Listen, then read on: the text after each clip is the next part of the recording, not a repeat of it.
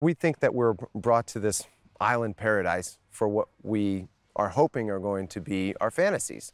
Uh, that uh, Gwen is going to uh, get to have the family that she never had. Melanie's going to be able to uh, enact some revenge on a childhood bully.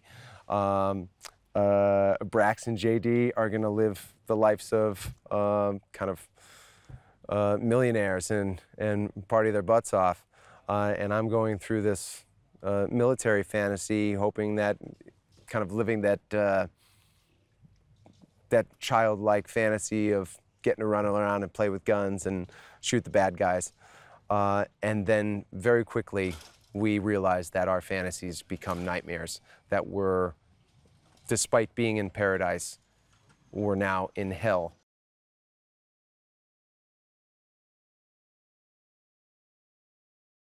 You know, th this isn't the, uh, the campy version of Fantasy Island. This is real people dealing with um, regret and um, having the one chance to reverse it, uh, which becomes incredibly heartfelt and touching. And I think that audiences will be moved by each of these characters' storylines and how they uh, end up coming to terms with the um, with the events of their past.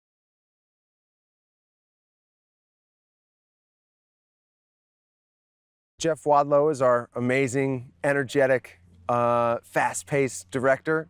Uh, I really enjoy working with him. I come from an athletic background with coaches who have that same kind of energy that, that he has. I, when I get to work, I want to go. I want to shoot, and I want to shoot hard and uh, feel like we have exhausted all of our, uh, all of our opportunities.